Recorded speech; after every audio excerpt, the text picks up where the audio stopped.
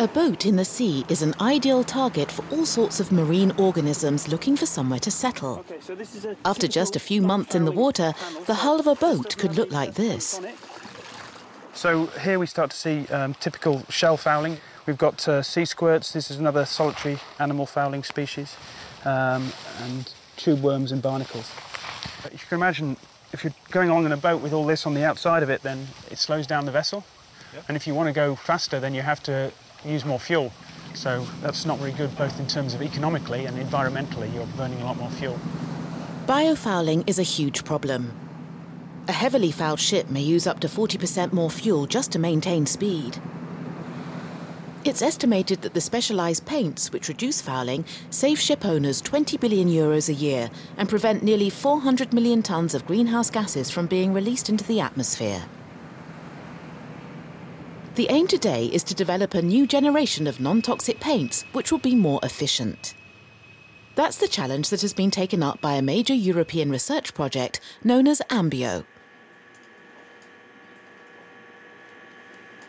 Well, the purpose of the project is to find a range of novel nanotechnology-based solutions to coatings that control marine fouling, but without the use of biocides. And biocides are compounds which kill organisms. The, range, the purpose of Ambio is to find coatings that work by reducing the adhesion strength of organisms so that they come off in the water, but without killing them.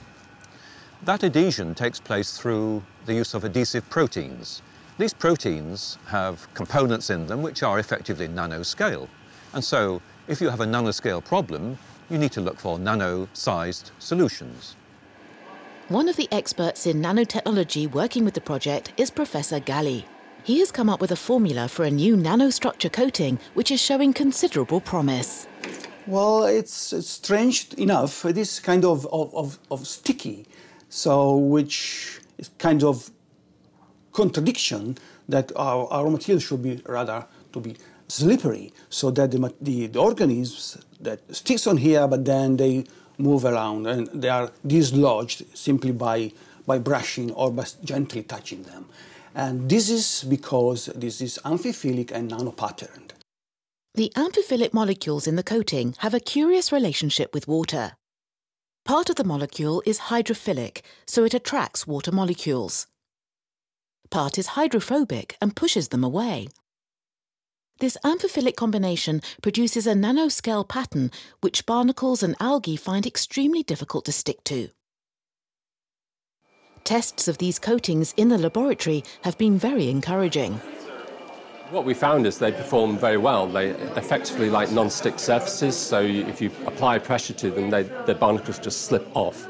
So we were very pleased about the performance in what is a relatively short time frame that, that the Ambio program had. Today, the coating has moved out of the laboratory and into the hands of another partner of the Ambio program, International Paint. They have been testing its performance in real conditions in the sea near Plymouth.